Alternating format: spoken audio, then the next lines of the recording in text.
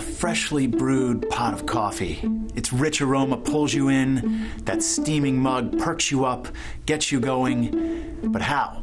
You take that first sip, what happens next? Well, if you love coffee in the morning, you are not alone.